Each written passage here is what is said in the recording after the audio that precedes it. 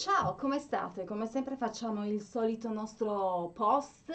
eh, dove, beh, intanto come sempre vi ringrazio per essere stati numerosi anche quest'oggi. Oggi il tema era eh, donne, motori, gioia e dolori. Insomma, me ne avete raccontato un po' di tutti i gusti e di tutti i colori. Che cosa mi avete raccontato? Beh, intanto che siete stati anche un po' monelli e eh, sulle due quattro ruote. Chi eh, in qualche modo aveva il suo scooter e eh, lo aveva anche un pochettino truccato e quindi poi gli è venuto, gli è stato sequestrato, beh, giustamente. Chi invece privatamente, insomma, piaceva girare in pista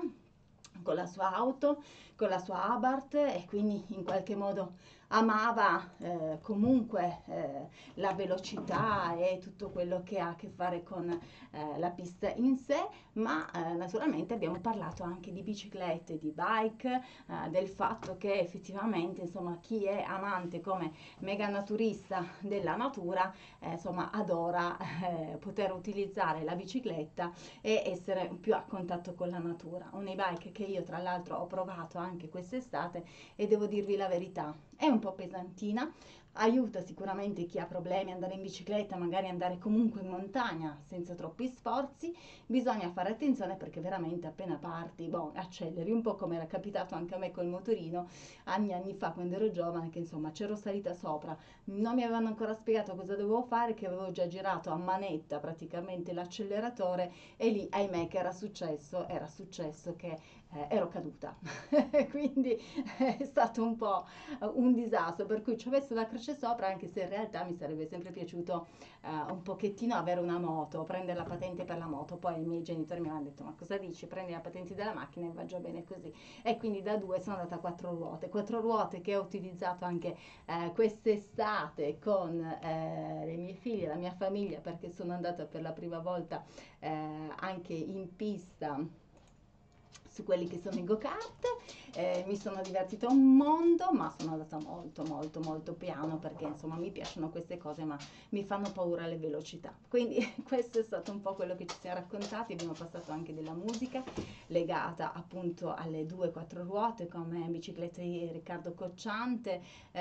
abbiamo passato e riascoltato anche un brano che faceva parte della colonna sonora di Electric Dreams eh, che mi è stato richiesto da voi come sempre e poi naturalmente insomma abbiamo anche un po' eh, pensato a quello che poteva essere insomma l'EICMA visto che la prossima settimana ci sarà l'EICMA e io andrò all'EICMA per raccontarvi poi prossimamente quello che si trova come novità. Eh, in più in chiusura abbiamo anche un po' rispolverato quello che può essere il tema della prossima settimana, ma in realtà la prossima settimana non ci sarò e quindi insomma dovremo rimandare il tutto e il tema ci avviciniamo al Natale, quindi piano piano andremo a parlare anche di Natale, così nel frattempo vado a comprare l'albero e poi vi racconto che cosa ho comprato. Quindi siete stati gentilissimi, avete veramente colloquiato con me in tutti i modi, chi aveva lo scooter, chi ha avuto la moto, chi ha avuto le biciclette, chi come Peter ha tantissime biciclette, 35 se non ricordo perché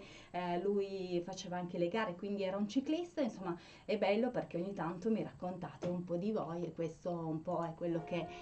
ci piace che succeda il martedì mattina, ma come sempre potete venirmi a trovare su Patreon se avete voglia e lì insomma troverete tante altre cose. Potete contattarmi a imhlib.it, vi mando un bacione, un grande abbraccio e ci vediamo prossimamente come sempre qui su YouTube. Ciao!